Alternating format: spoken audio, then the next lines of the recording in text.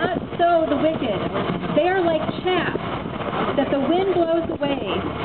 Therefore the wicked will not stand in the judgment, nor sinners in the assembly of the righteous. But the Lord watches over the way of the righteous, but the way of the wicked will perish.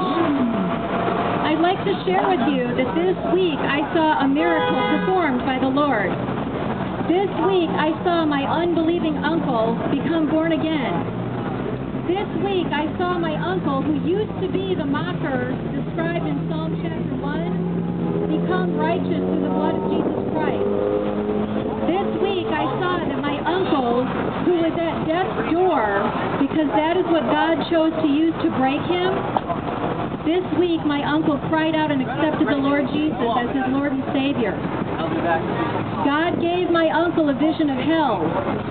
And in that vision, he saw that the fire never died, that it was dark, and that it was dreary, and that people were screaming, and that hell went on deeper and deeper and deeper, and he could see no end to the depths of it. He saw demons running everywhere, and they were chasing him. And the demons were leading him through tunnels and through doors.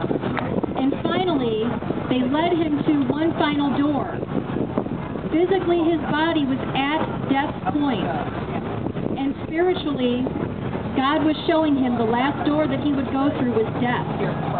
And when the demon said to him, Do you want to go through this door? He said, No, I don't. And he cried out, Save me, Jesus. And Jesus did. He is born again. He has been brought from darkness to light. And he has been taken from death to life. And everyone here can have that same hope that my uncle has that when they die, they could be with the Lord Jesus for all eternity. If only they would forsake their sin. If only they would repent and acknowledge that they are not their own God. If they would acknowledge that their flesh is wicked.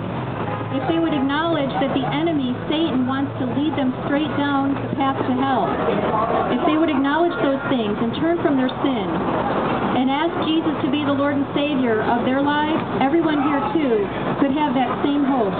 And that is my prayer for all of you tonight. Thank you.